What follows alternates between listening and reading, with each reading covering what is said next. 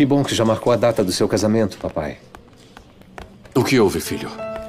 Parece que hoje não está muito animado. Me desculpe, pai. Mas eu não estou bem.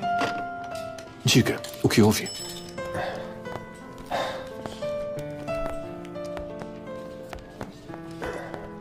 Eu não entendo mais nada. Acho que não tenho sorte no amor. Por que diz isso? Matias, ainda sente saudade da Renata? Não, não, não. Ela sempre será uma pessoa especial na minha vida. Mas já aceitei que jamais sentirá nada por mim. É sobre a Adriana. O que tem a Adriana? Acho que não mediu as consequências de brincar com fogo e se queimou. E de quebra me queimou também. Eu não estou entendendo, filho. Mas eu entendo. Não liga pra isso. Depois isso passa.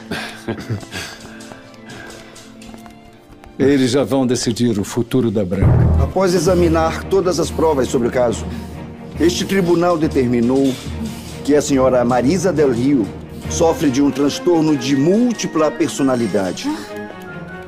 Fato esse que comprova ser impossível de ser julgada diante da lei.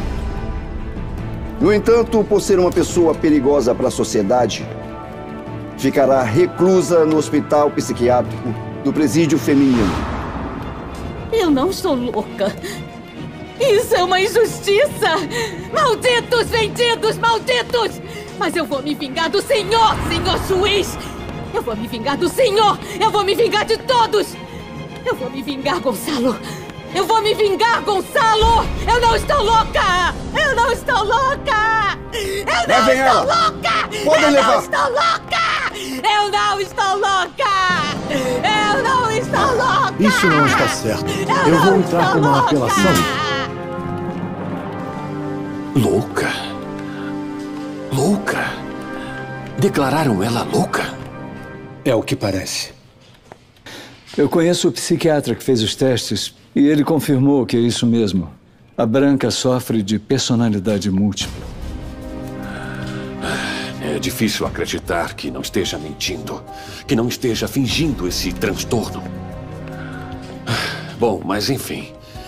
Confiamos que esteja onde estiver. Não vai continuar fazendo nenhum mal. O que vai acontecer com meu tio? Seu tio já foi inocentado.